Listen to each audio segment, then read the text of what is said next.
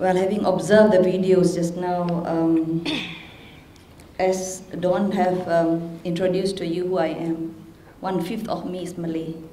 I'm not totally a Malay. But as a Malay who have seen that video, it is as though it's the Malays who have triggered all this um, um, animosity, all this negative, um, negative impressions that people can see from the video. And um, seeing other words that's been written there. Now, there must be a reason for this to have sparked, whether it is for a good reason or for a bad reason. I don't think in Malaysia we like to see these happenings in Malaysia. And for record, all my three children went to Chinese school. In rural areas, if you see, most of the children who, who are in the Chinese school, the Chunghua school, are the Bumiputras. So I believe Malaysians are not racist. But as, as, as I've said just now, there must be a reason for something to happen which caused this to happen, though we do not like to see it happening.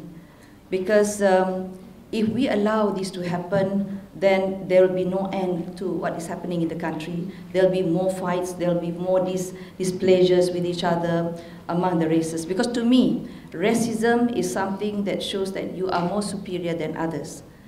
Or either your race or your religion, you are more superior. And even if you are more superior, you cannot, you cannot live alone in any part of the world.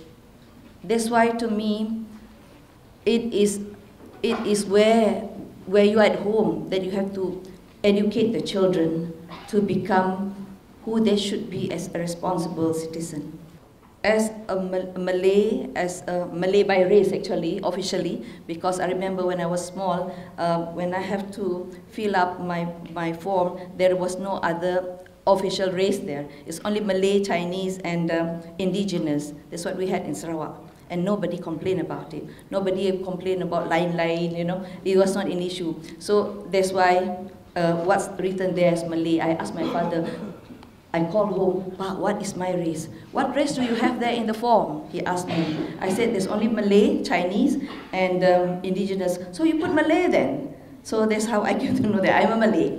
Uh, but um, in, real, in real fact, that we are all uh, from many, um, a lot of us are not originally from, the, from Malaysia itself. When I say from Malaysia, because a lot of us, some came from Indonesia, and then they came here, and they, they live here, and they become Malaysians. So in my case, I cannot claim myself to be a Mat Saleh, because that's only my grandfather from my mother's side.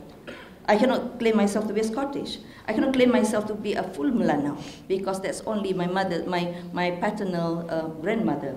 So here we are supposed to, what we want is to survive, to live, and to, to carry on with our life. So what do we do? Just stay on and live together and try to be there to be with us, each other as far as possible. So.